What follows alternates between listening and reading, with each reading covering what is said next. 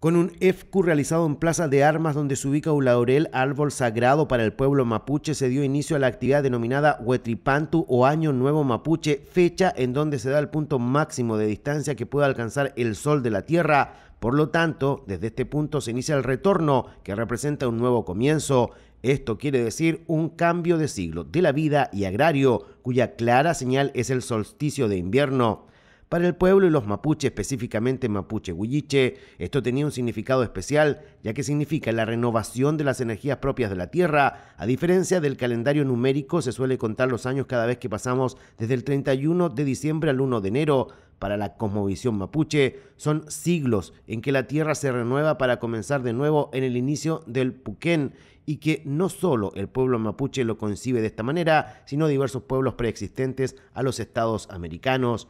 En la oportunidad, Manuel Mella Contreras, presidente de las comunidades indígenas rurales, indicó que este fue un hito importante, ya que por primera vez se realiza esta actividad en Plaza de Armas, destacando el trabajo colaborativo junto al municipio que permite dar valor a esta tradicional actividad de los pueblos originarios. Primera vez en la historia que se está haciendo aquí en la Plaza de Armas, eh, con los pueblos originarios, que se le hizo una petición al alcalde para hacer este, este reencuentro del Año Nuevo Mapuche, y lo hicimos, enviamos las cartas y le hicimos la, petición y lo aceptaron y todos los años tenemos nuestro encuentro aquí de los pueblos originarios con el ritual en, nuestro territorio, junto con todos los presidentes y los dirigentes eh, de las comunidades indígenas. Estamos trabajando juntos, año a año, día a día, trabajando juntos con las comunidades indígenas.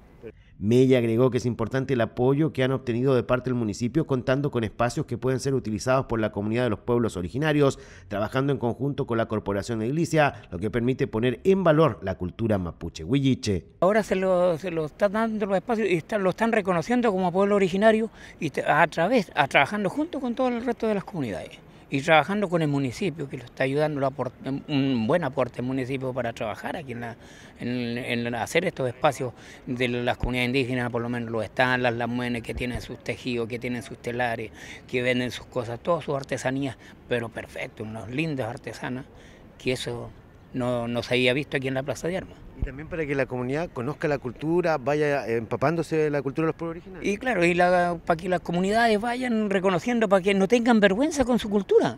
Porque muchas veces que la gente tenía vergüenza de su cultura porque supuestamente que ellos decían estamos discriminados.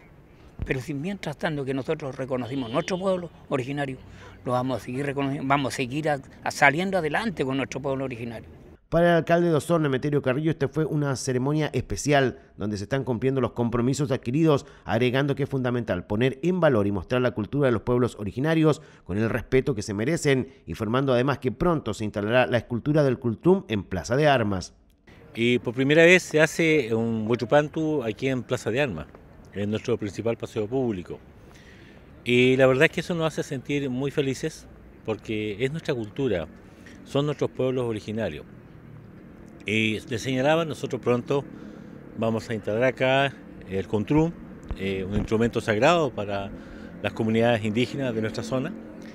Y, creo que eso demuestra un, antes y un después. Hoy día hemos tenido un acercamiento, un diálogo permanente eh, y buscando los puntos de encuentro. Tenemos tantas cosas en común, tenemos tantas cosas que, que trabajar y creo que es bueno que nuestros jóvenes, nuestros niños conozcan ya las tradiciones ya, y la historia de nuestros pueblos originarios. Carrillo además destacó el hecho de que los pueblos originarios puedan dar a conocer su cultura y tradiciones en Plaza de Armas, ya que ello a la vez permite que la comunidad osornina en su conjunto conozca y aprenda de la cultura de los pueblos originarios. Eso se trata, ya. Eh, la verdad es que había un desconocimiento muy profundo referente a lo que son nuestros pueblos originarios, cuáles son sus costumbres, sus hábitos, y, creo que hay que conocerlo y aprenderlo y valorarlo por sobre todo. Así que ese, es el sentido ya de seguir haciendo actividades con ellos, cosa que cada vez eh, nuestra juventud, nuestros niños sepan más de lo que es nuestras tradiciones de nuestros pueblos originarios. El Huetipantu es un día sagrado para los mapuches ya que es el día más corto del año, pero básicamente el día en que empieza a retroceder el invierno, alargándose las horas del sol hasta el solsticio de verano, propiciando un nuevo año de agricultura. Por lo mismo, el Año Nuevo Mapuche es una ceremonia muy importante para el pueblo originario.